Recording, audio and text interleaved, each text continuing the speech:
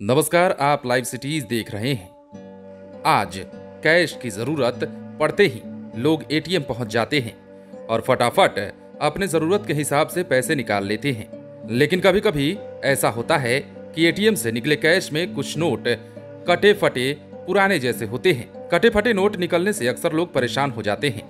दरअसल एटीएम से कटे फटे नोट निकलने के बाद लोग सोच में पड़ जाते हैं कि अब इस नोट का क्या करेंगे, क्योंकि बाज़ार में जिसे देंगे वो लेगा नहीं। ऐसे में परेशान होना भी लाजमी है। लेकिन इस बात को लेकर घबराने की ज़रूरत बिल्कुल नहीं है, क्योंकि आप कटे और फटे नोट को आसानी से बदल सकते हैं। कटे फटे नोट बदलने से मना नहीं कर सकते बैंक। आरबीआई का नियम साफ़ कहता है कि अगर एटीएम से कटे फटे नोट निकलते हैं तो बैंक बदलने से इनकार नहीं कर सकता है। आपको बता दें कि नोट बदलने के लिए बैंक में कोई लंबा प्रोसीजर नहीं है। मिनटों में नोट को बदला जा सकता है।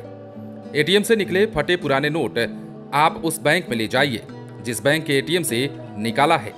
वहाँ जाकर आपको एक एप्लीकेशन लिखना होगा, जिसमें आपको पैसे निकालने की तारीख, समय, जिस जगह से निकाला है उसका नाम मेंशन करना होगा।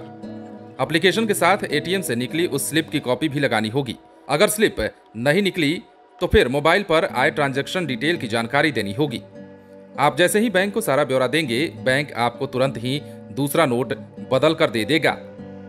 नोट नहीं बदलने पर बैंक को देना पड़ेगा हरजाना अप्रैल 2017 में आरबीआई ने अपनी एक गाइडलाइन में कहा है कि बैंक कटे फटे गंदे नोट बदलने से इनकार नहीं कर सकते।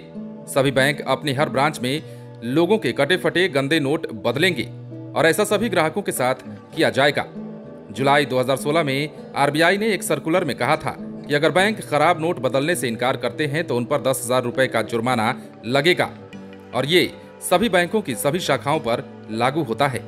आरबीआई के मुताबिक एटीएम से खराब या नकली नोट निकलने की ज़िम्मेदारी सिर्फ़ और सिर्फ़ बैंक की होती है। उस एजेंसी की भी नहीं, जो नोट एटीएम में डालते हैं। नोट में कोई खराबी है तो ये बैंक कर्मचारी द्वारा चेक की जानी चाहिए।